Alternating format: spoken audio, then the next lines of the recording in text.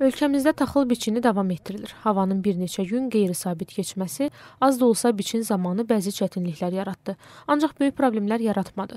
Əgər bu proses mütəmadi xarakter daşısa, bu zaman ciddi problemlər yarada. Yetişmə mərhələsində olan taxılların tökülmə prosesi baş verə bilər.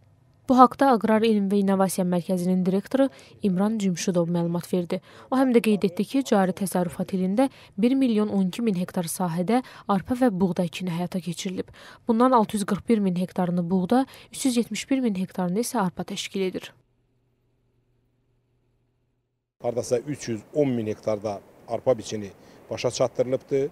E, eyni zamanda e, buğda biçinindən də 320 min hektar buğdadan orta məhsuldarlıq 33 sentinerdir, arpanın orta məhsuldarlığı isə 30.3 sentinerdir.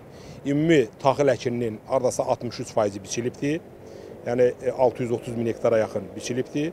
Məhsuldarlıq hardasa 31.7 sentinerdir.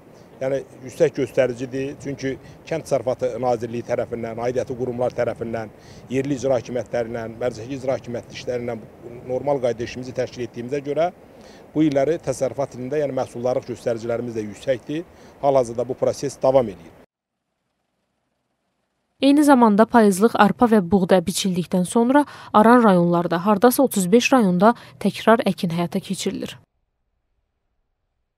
14 min hektarda artıq səpin aparılıbdır və e, keyfiyyətli çıxışda alınan sahələr var. Eyni zamanda suvarma işləri davam etdirilir və hesab edirik ki, bu yağan sonuncu yağmur o həmən e, qarıqdalı əkinlərdə cücərməyə kömək edəcək, eyni zamanda digər kənd təsərrüfatı bitkilərinin inkişafına, məhsullarının artırmasına müsbət təsirini göstərəcək.